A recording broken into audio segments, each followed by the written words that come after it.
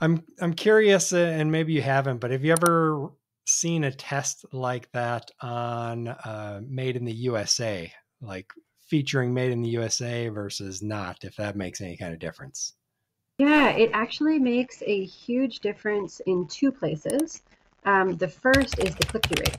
So what I see a lot of times people do is they put the Made in the USA too far into their title for people to see it on mobile devices.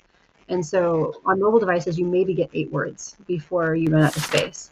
And so you actually have to put just the like two or three, your brand, maybe two or three product words made in the USA, rest of the words. Otherwise, they won't see it on mobile. And that's how you get the click through rate on mobile.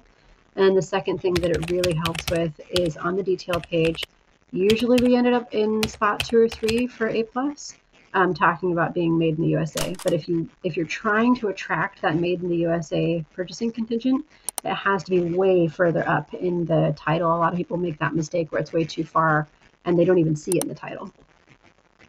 Well, it's good to know that it is a deciding factor for a, a good amount of people. It is. It really increases the click through rate. The impact on conversion rate is much lower. so, in terms of buying, people are still pretty price sensitive, but in terms of the click through rate, it really gets you engagement.